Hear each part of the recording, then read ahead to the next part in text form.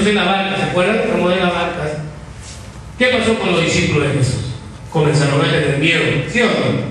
Pero decían, no, estamos con el mejor Señor del mundo, el mejor maestro del mundo, ¿no de Dios? Pero Jesús lo quiso probar y lo mandó más adentro, ¿se acuerdan?